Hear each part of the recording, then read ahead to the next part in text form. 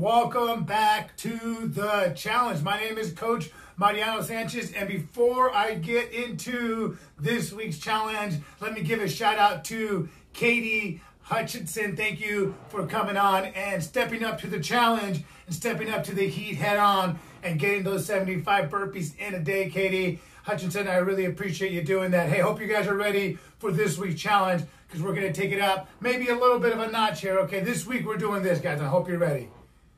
We're doing 100 push ups, 100 sit ups, and 100 squats. Okay, 100 push ups, 100 sit ups, 100 squats, timed. Okay, I want you to do this time. I want you to see how fast you could do this. You only got to do it once. Okay, 100 push ups, 100 sit ups, 100 squats, timed. Hey, this is what we're going to do. A little bonus treat for you all this month. If you can beat my time, I'm going to hook you up with two days of training next week. Okay, so if you can beat my time, I'm going to hook you up with two days of training, but you got to come back and post your time here. Okay. And for the first three people to come and submit their times, I'm gonna hook you all up also with a couple training sessions next week. We'll do a little small group thing. So what you got to do, be one of the first three to post or beat my time. Hope you're up for the challenge. 100 push-ups, 100 sit-ups, 100 squats. Y'all, let's do this. Timer ready? See if you can beat me. Three, two, one, and go.